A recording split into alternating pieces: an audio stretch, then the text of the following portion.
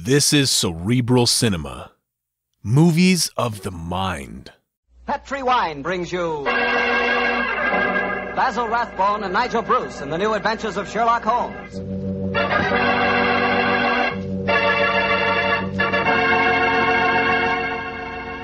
The Petri family, the family that took time to bring you good wine, invite you to listen to Dr. Watson tell us another exciting adventure he shared with his old friend, that master detective, Sherlock Holmes.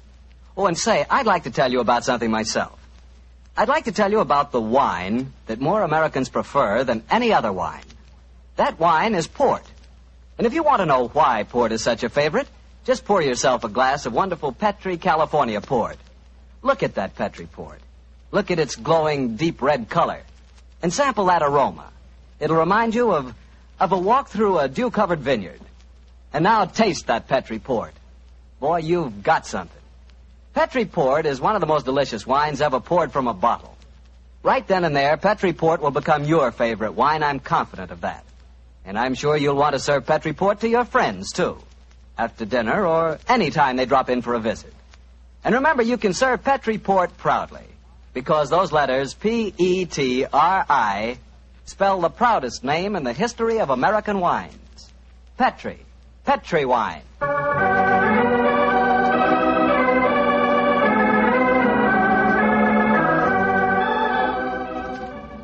And now I'm sure our good friend Dr. Watson's ready for us. Let's go in and join him. Come in, come in, come in. Ah, there you are, Mr. Bartell. Good evening. Do- uh, oh, excuse me, Dr. Watson. I, I didn't know that you had company. Shut the door, my boy, and come in and join us. Let me introduce you, Mr. Bartell. This is my friend, Mrs. Campbell. How do you do, Mrs. Campbell? How do you do, Mr. Bartell? Mrs. Campbell is a very old friend of mine from England, and when she called on me today, I persuaded her to stay and have dinner, and then join us in this little session of, of storytelling. You see, Mr. Bartell, she's really what you might call the star of the Sherlock Holmes adventure that I'm going to tell you tonight. Oh, come now, Dr. Watson. I actually played a very small part in the story. In any case, I was much too young at the time to know what was really going on. Say, this is a great idea, Doctor. One of the characters out of your fabulous past here in California in 1946 and helps tell her own story. Oh, no, Mr. Bartell. I'm no storyteller. That's the doctor's department. I'll just listen. No, no, no, no, my dear. I'll set the scene, but you must uh, ring up the curtain, as it were. In any case, my memory isn't too clear on some of the early points in connection with the case. You will have to help me out. Oh, but you're talking to millions of listeners on the radio. I'd be terrified to speak over the air. We're on the air now, Mrs. Campbell. Oh, oh, we're not, are we? Oh, oh dear. No, no, no, no. Don't worry, Cynthia. If they're kind enough to listen to me week after week, I'm sure they'll be delighted to hear you. And now to get on with the story. The title, The Adventure of the Living Doll. The setting, the Sussex Downs near the bee farm to which Sherlock Holmes retired. The period, 1910. And now, Cynthia, my dear, the curtain's going up, and the first scene belongs to you. Supposing you set it for us. Well, I- I'll try. We were living on the Sussex Downs also, Mr. Bartell, at that time. My name was then Cynthia Browning. My father, Arthur Browning, had been dead for some years, but my mother kept up the estate with a manager, a Mr. Hugh Tanner. I was away at school most of the year, of course, but the happiest times of my childhood were spent during those long summer months in Sussex. I lived in a small world, knowing only a few people and loving all of them, or almost all. First of all, there was Mother herself. She was the most beautiful woman in the world, and the sweetest. I remember she gave me a puppy on my twelfth birthday. His name was Dusty, and he was so sweet. I talked to Mother about him one day. I, I must have sounded terribly young. Mommy, darling, I do love Dusty. Very, very much. He's a lovely puppy, and you gave him to me. You love him, Cynthia. I know that. But I've been feeding him. That's your job, darling. It's good for grown-up people to have responsibility. Oh, Mommy, I'll feed him. Of course I will. I'll feed him so full, he'll burst. Then there was the estate manager, Hugh Tanner, such a pleasant man, and so willing to tell a twelve-year-old all the things that a twelve-year-old has to know or die.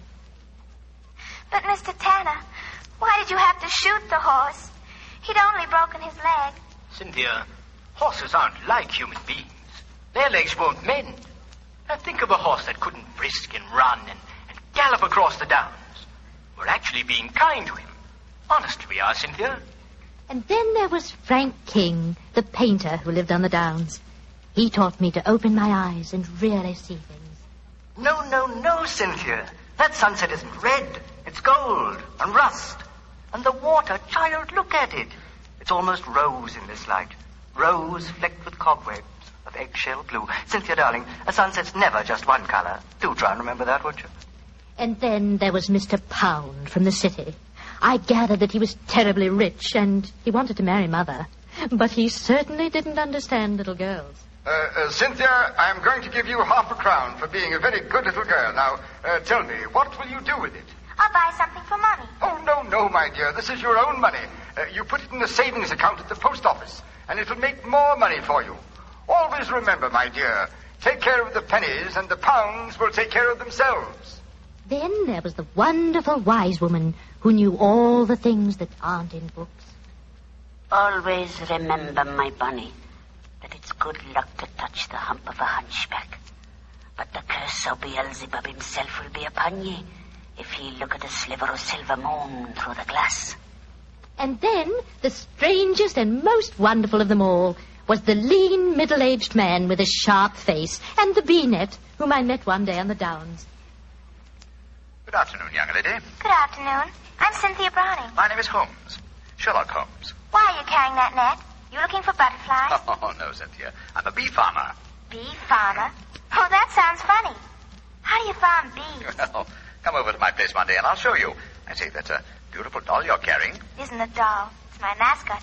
Was given to me by Frank King, the painter. He made it for me. He made it to look as much like me as possible. I call her me. It's remarkable likeness. See the hair? That's clippings off my hair. And the nails? Those are clippings from my own nails. She's really me. And I love her. Your own nails and hair, and the doll is an exact replica of you? I don't like that, Cynthia. Um, remember, my dear, my name, uh, will you, uh, it's uh, Sherlock Holmes, and I live at the bee farm, and if anything unusual happens, uh, come to me at once. Of course, Dr. Watson, I'll confess that that first meeting with Sherlock Holmes rather frightened me. You didn't understand why he was so worried about the doll, eh? No, but I remembered what he said about coming to him if anything unusual happened. And I'm sure that that unusual something did happen. Yes, Mr. Bartell, and within a very few days. But at this point, I think Dr. Watson should take over the story. It's where he and Mr. Holmes really entered into it. Oh, very well. As I mentioned earlier, Mr. Bartell, I was staying with Holmes. Late in the afternoon, as I remember, that you ran over to the bee farm where I first met you, Cynthia. A few moments before you arrived, Holmes and I, each of us with a cup of tea in our hands, were seated on the veranda, gazing out across the downs, and discussing the mutability of human affairs. It's strange, Watson, that after a lifetime devoted to the more flamboyant aspects of everyday life, that now, in what is the fast approaching twilight of my days, I find such peace and companionship in the exact and predictable behavior of bees. I wonder what Moriarty would have thought. Oh, you talking as if you're an old dodder of 90. You say what you like, but I don't think that you'll ever really be happy in retirement. You miss the danger, the, the excitement of the chase, the, the public acclaim. What are you talking about? My work was never for the public. what did the public, the great unobservant public, who could hardly tell a weaver by his tooth or a typesetter by his left thumb, care about the finer shades of analysis or deduction? In any case, Watson, I chose a happy time to sink into oblivion. In comparatively recent years, the criminal seems to have lost all his originality and enterprise. My own little practice when I gave it up and seemed to be in danger of developing into an agency for recovering lost lead pencils or giving advice to young ladies from boarding schools. Oh, talking of young ladies, who's this little girl running up your driveway? Oh, great Scott, it's um, little Cynthia, Cynthia Browning. Oh, and who's she? Oh, a charming young neighbor of mine. Hello, Cynthia. Hello, Mr. Holmes. You've come to see how I farm bees, haven't you? No, Mr. Holmes. You told me to come to you if something unusual happened. It has. Something that's frightened me. Well, now, sit down, my dear. This is my old friend, Dr. Watson. Oh, how do you do, Cynthia? How do you do? Ah, Cynthia, dear, what has frightened you? It's my mascot. My me. Look. Somebody stabbed her through the heart. Great Scott, a doll that's an exact replica of her. With a penknife thrust into it. Good gracious me. When did you find your... your mascot like this? Just after tea. Mommy had some gentlemen calling on her. And afterwards I went up to my room and found poor me on the bed. I remembered what you told me about anything unusual. And so I came over here as fast as I could. Yes, I'm glad that you did, Cynthia. Did you tell your mother where you'd gone with her? No, I didn't. She was still talking to the gentleman. Well, she'll be she'll worry about you when she discovers your disappearance. No, don't worry, Watson.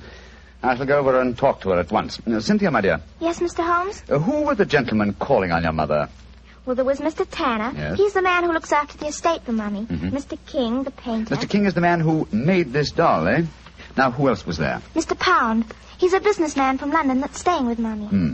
And they were all present in your house when you found the do- the uh, mascot lying on the bed. Yes, Mr. Holmes. What's no chap?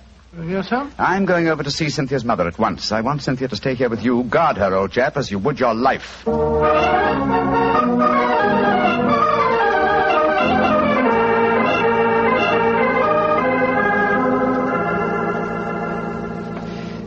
Mrs. Browning, I know I must seem like an intrusive neighbor, but uh, possibly you've heard of me. My name is Holmes, Sherlock Holmes. Well, who hasn't heard of the famous Sherlock Holmes? Uh, please sit down, won't you? Thank you. Your guests have left? Yes.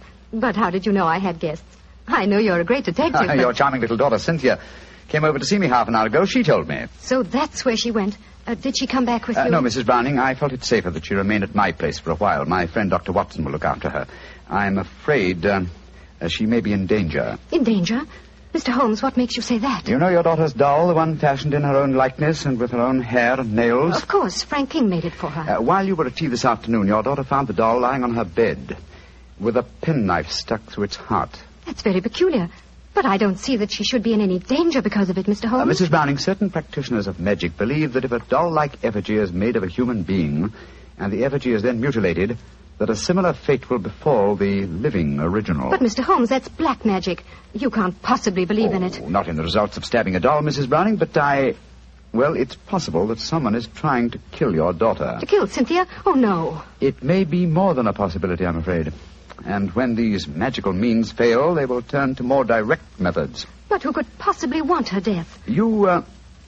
You have not remarried, Mrs. Uh, Browning? no, I feel it my duty to devote my life to Arthur's child, Cynthia. Yes, then anyone wishing to marry you might feel that Cynthia stood in the way. But that's absurd. But logical, Mrs. Browning.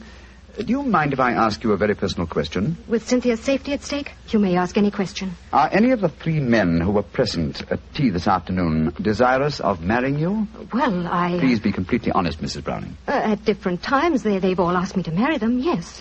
And you won't contemplate marriage because of your dead husband's child, hmm? Uh, tell me, Mrs. Browning, have you seen this penknife before? It was the one found stuck through the doll's heart. I don't think I've ever seen it before. One final question. Would anyone among Cynthia's acquaintances have a knowledge of uh, the practice of magic? Well, uh, the old woman that Cynthia calls the wise woman might. Oh, who might she be? A strange creature that lives in some hovel on the downs near here. Mm-hmm. She brews weird concoctions with herbs, love philters, and all that sort of thing. I'd be a suitable companion for your daughter, Mrs. Browning. I know it, Mr. Holmes. I've told Cynthia over and over again that she mustn't stray off and see the old woman. But you know how disobedient children are at her age. I'm sure she's been over there recently. I'd like to talk to this woman. Where does she live? I don't know exactly, but Frank can take you there. He used her as a model. Uh, Frank King, the, the painter? Yes, he lives in the village. Hmm. Then I shall call on him at once and persuade him to accompany me. We must find that wise woman, and I hope save your child from magic. Magic and possible murder.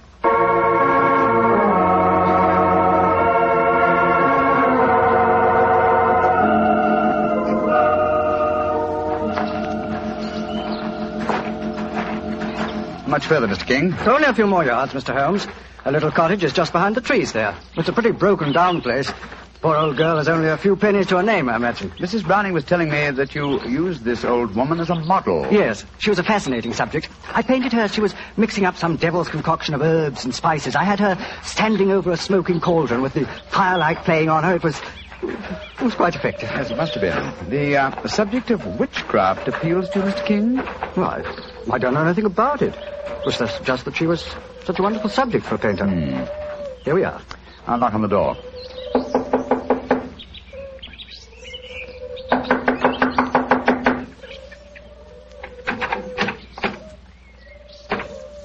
I think we'll take the liberty of going in, shall we? Hmm, I don't see why not.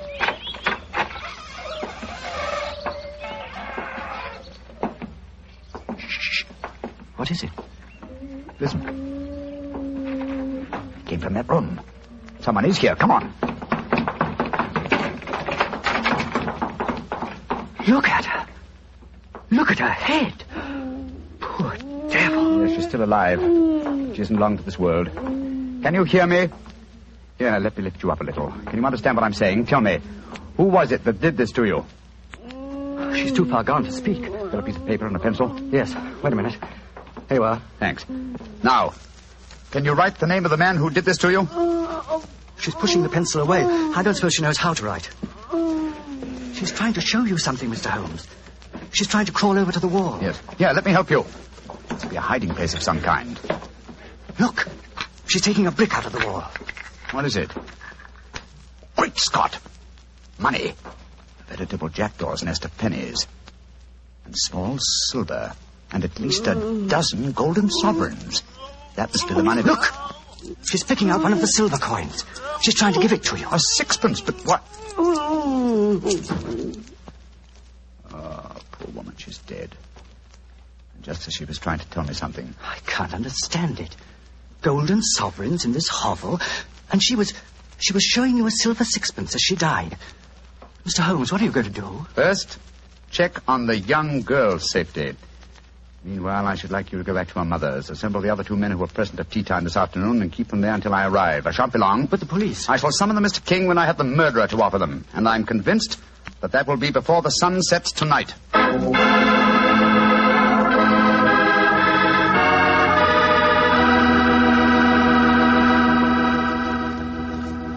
We'll hear the rest of Dr. Watson's story in just a second. Time enough for me to mention another wonderful Petri wine. Petri California Muscatel. If you like that subtle muscat flavor, who doesn't, you really like Petri Muscatel. Petri Muscatel is a clear golden wine that is just as much a hit with the ladies as Petri Port is with the men. But I don't mean by that that only the ladies like Petri Muscatel. In fact, if you want to be sure to please everybody, get both Petri Port and Petri Muscatel. In other words, don't buy one, buy two. But do be sure you always buy Petri. Now back to Dr. Watson and his guest tonight, Mrs. Campbell, who played a most important part in the story herself. Oh, not nearly as important a part as that played by Mr. Holmes and Dr. Watson. Well, Dr. Watson, what happened when Sherlock Holmes rejoined you at the bee farm? Well, first of all, he made sure that the little girl was safe. Then he told me of finding the dead woman and of his theories as to the killing. I can almost hear him now, Mr. Bartell, as he said. How it was, Watson. Someone wanted the little girl out of the way because they knew the mother would never marry while the child was alive. And that someone persuaded the old woman to do the job for him, I suppose. Undoubtedly. And she, believing in the powers of black magic, mutilated the doll, firmly convinced that in so doing she was destroying the young girl it was fashioned after. And then I suppose when the potential murderer discovered the woman was merely indulging in stupid folklore, he killed her, Hmm. realizing she was only a hindrance to him, and with her knowledge of the plan, a dangerous hindrance. Exactly, my dear fellow. But um, how do you suppose we account for the hoard of money? Golden sovereigns, don't forget, that we found in the hovel. Well, no doubt it was a sum that she was already being paid for the murder that she was going to commit. Hmm. As she died, she tried to give me the clue to her murderer by selecting certain certain coin. Now, in her possession, she had gold, silver, and copper. She chose a silver coin. And yet I can't see its significance, I must confess. Well, at the moment, possibly not. And yet, before the evening's over, I bet you that. What did you say, Watson? I said before the evening's over, I, I bet you. Thank you, old fellow. That's the clue. You bet me. What on earth are you talking about, Holmes? I was just saying You've that. just given me the answer to the whole problem, Watson. What? I'm much obliged to you. Stay here, will you, old chap? And look after Cynthia a little while longer. Within a very short time, I shall have her intended destroyer under lock and key.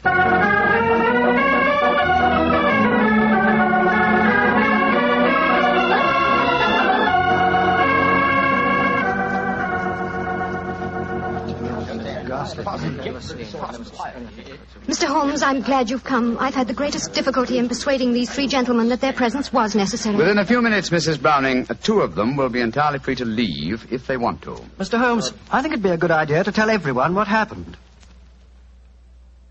Yes, uh, well, uh, Mr. Mr. Pound, Holmes, I I, don't think think it'd be a good idea to tell everyone what happened. Yes, how do you do, Mr. Pound? Oh, oh how, how do you do, Mr. Holmes? Uh, look here. If there's some scandal down Oh, here... there is, Mr. Pound. Uh, then I want my name kept out of it. You hear? I I have a seat on the London Stock Exchange. Oh, very comfortable for you. Yes. And the other gentleman, by the process of elimination, must be Mr. Hugh Tanner, the manager of your estate, Mrs. Browning. Yes, I'm Hugh Tanner. And now, Mr. Holmes, supposing you tell us what this is all about. I'm a straightforward man, and all this mystery is rather aggravating. Something has happened. Something that concerns us all. What is it? Murder. Murder? Murder? Good Lord, who's been murdered? An old woman who lived in the village. Your daughter, Mrs. Browning, referred to her as the wise woman. Mr. King and I found her tonight in her cottage on the downs, beaten to death. Murdered. Well, that's shocking, but uh, what's it got to do with us? I'll explain, Mr. Pound. Each one of you, I believe, would like to marry Mrs. Browning. Her daughter, Cynthia, is an obstacle to such a marriage. One of you decided to remove that obstacle and engaged the wise woman to carry out the plan. Finding the woman clumsy and ineffective, you decided that she was a dangerous witness, and so you murdered her.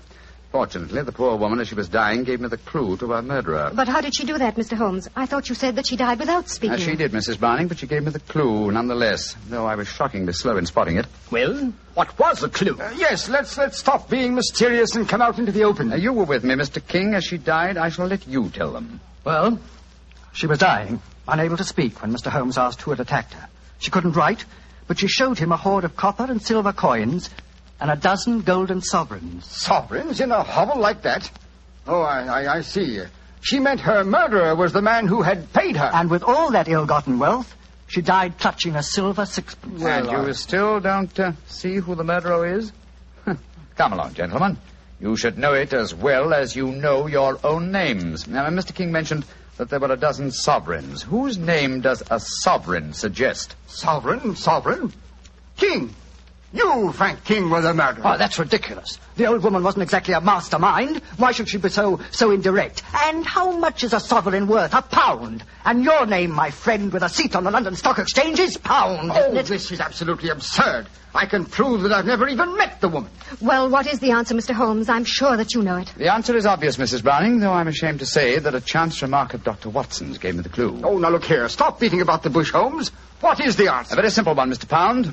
With 12 golden sovereigns at hand, sovereigns that would suggest either the name of King or Pound, what coin did the dying woman select? A sixpence. Exactly. A humble silver sixpence. And what is the common slang word for a sixpence? A tanner. Precisely. Which tells us that you, Mr. Hugh Tanner, killed the wise lady. Try and prove it. That's all. Just try and prove it.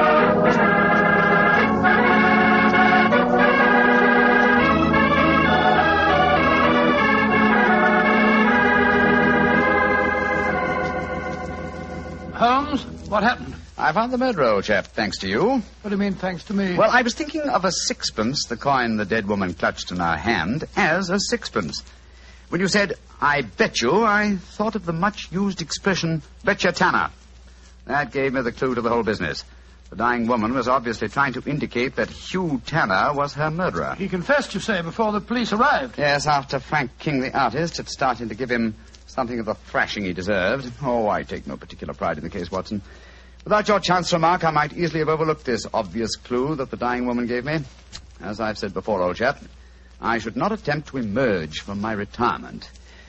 Yes, yes, yes, yes. It's obvious that my reflexes are shockingly slow. Rubbish. The police would never have solved it. Oh, my dear Watson, when you compare me with the police, I realize that my retirement should be permanent. Uh, by the way, um, where is Cynthia? Well, I arranged with your housekeeper for her to have an early supper.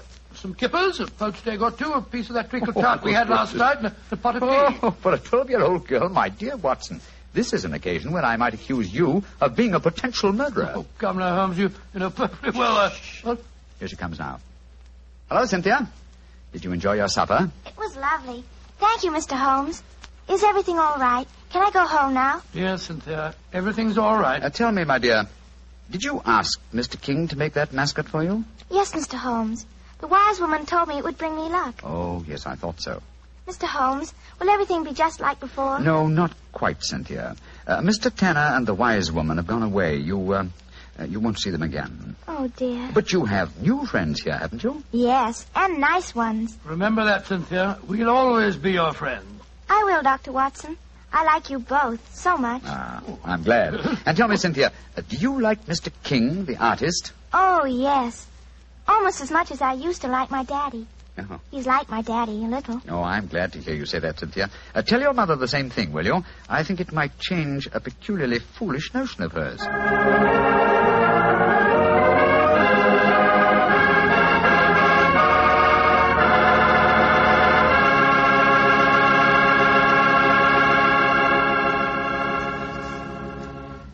Well, Dr. Watson and Mrs. Campbell, that was a, a, a really different kind of story. I, I'm sure glad you were here tonight, Mrs. Campbell. Tell me, um, has Dr. Watson changed much since you last saw him? Well, yes. I, I think he's grown handsomer. No, no, no, no, no. And and uh, what about Mrs. Campbell, Doctor? Has uh, she changed? Well, she is more grown up than the last time I saw her, but she hasn't changed much in one respect. What's that, Doctor? Your appetite, my dear. Oh. I remember how Holmes was amazed at the amount you ate when you were a child, but you certainly ate just as hearty a dinner this evening. Well, that was your fault, Doctor. Your dinner was too good. Uh, oh, Cynthia, d- don't, don't talk about the wine. Well, why shouldn't I talk about the wine? It was wonderful. Sure it was. It was Petri wine, that's why. You see? Now you got him started. And Mrs. Campbell, Petri wine is always good wine. That's because the Petri family has been making wine for generations. Ever since long ago when they started the Petri business, winemaking has been an art with the Petri family. It's a tradition, a heritage that they've handed on down from father to son, from father to son. Believe me, when it comes to turning luscious, sun-ripened California grapes into fragrant, delicious wine, well, you can bet your last dollar that the Petri family really knows how. No matter what type wine you prefer, for any occasion, you just can't miss with a Petri wine. Because Petri took time to bring you good wine.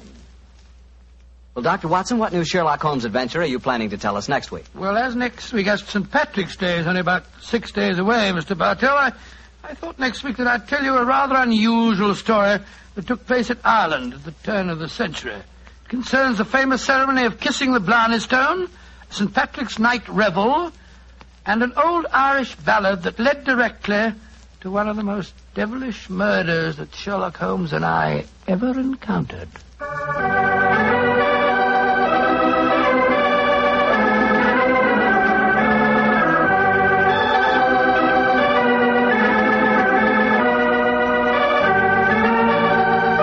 Tonight's Sherlock Holmes adventure was written by Dennis Green and Anthony Boucher and was suggested by an incident in the Sir Arthur Conan Doyle story, The Adventure of the Copper Beaches. Music is by Dean Fossler. Mr. Rathbone appears through the courtesy of Metro Goldwyn Mayer, Mr. Bruce through the courtesy of Universal Pictures, where they are now starring in the Sherlock Holmes series.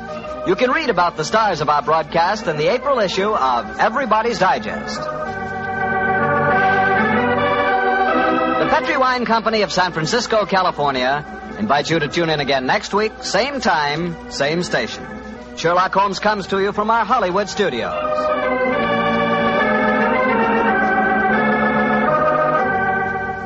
This is Harry Bartell saying goodnight for the Petri family. For a solid hour of exciting mystery dramas, listen every Monday on most of these same stations at 8 o'clock to Michael Shayne, followed immediately by Sherlock Holmes. This is the Mutual Broadcasting System.